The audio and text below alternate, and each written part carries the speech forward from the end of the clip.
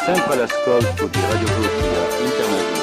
Reportage, une émission qui vous est proposée par la rédaction d'RCI, à retrouver en images et en podcast sur le site de Radio Corsica International. Buongiorno e saluto a tutti. Bonjour RCI à l'Albor aujourd'hui pour parler musique, Music AD, alors avec Mathéa Lacave qui est adjointe au maire de Bastia, déléguée euh, aux animations, à la culture. Alors présentez-nous un petit peu ce- cette journée de, de, de l'Albor spéciale musique.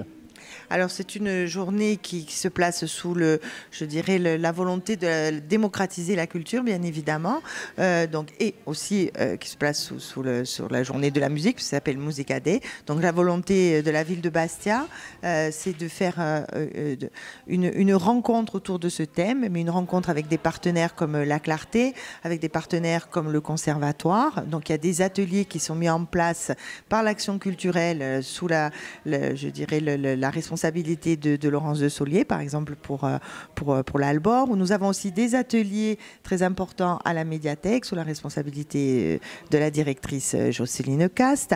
Nous avons un partenariat aussi avec Artemar, et puisqu'à 16h aura lieu la diffusion du film Les Blues Brothers gratuitement, et j'invite tout le monde à, venir le voir.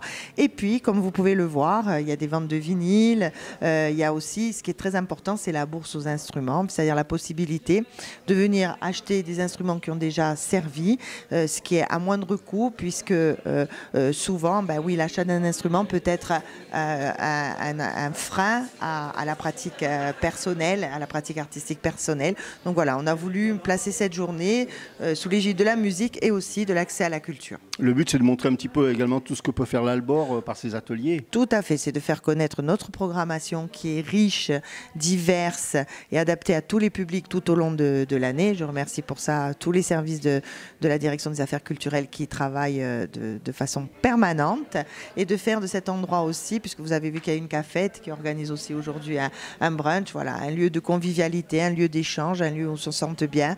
On a envie de, boire un café, de lire un journal, de, de- de- d'emprunter un livre, d'aller écouter un concert, de participer à, un atelier. Voilà, tout, ce qui fait, tout ce qui fait, je dirais, un peu l'essentiel de la vie autour de la culture. Mathéa Lacave, merci. Et puis on va à faire un petit tour donc dans, ce, dans cet Albor et ce Music AD.